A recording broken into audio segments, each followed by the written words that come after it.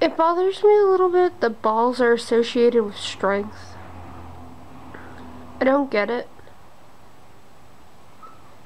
Because, I mean, they're just little weak pillows of flesh. Like, they're just little lumps. And if you have them, that's fine. But it doesn't make you strong. It, uh, it actually makes you more vulnerable. So where does this saying that, you know, oh, he has balls or she has balls, where does that come from? Because it just means that you're more vulnerable in your downstairs region.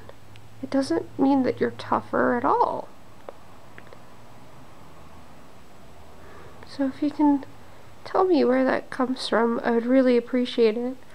I googled it, but all I got was, um, you know, strength training with exercise balls, and that wasn't very helpful. So, um, yeah.